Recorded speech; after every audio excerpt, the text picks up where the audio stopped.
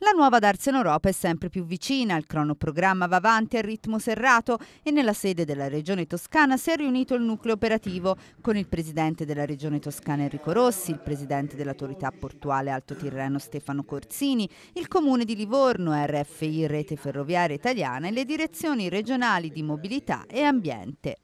Entro la metà di settembre sarà pubblicato il bando per assegnare l'incarico della progettazione della parte pubblica dei lavori per la Darsena Europa. È un incarico per la progettazione di un'opera intorno a 260 milioni e così ci è stato promesso, ma io confido in questo lavoro, entro il mese di settembre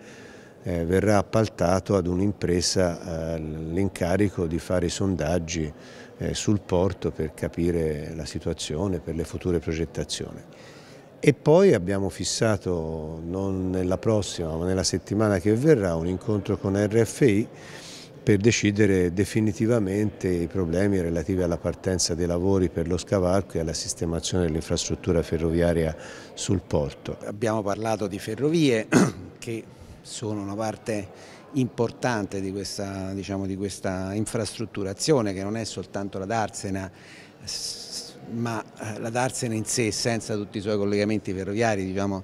avrebbe una potenza molto più limitata di quello che potrebbe avere quindi al momento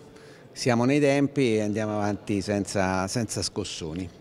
Il presidente Rossi ha tracciato quindi una roadmap per riuscire ad avere il progetto esecutivo della nuova Darsena Europa entro l'anno e l'avvio dei lavori entro la metà del 2018. Un calendario dei tempi molto stretti rispetto ai quali il presidente Rossi ha comunque invitato ad accelerare il più possibile.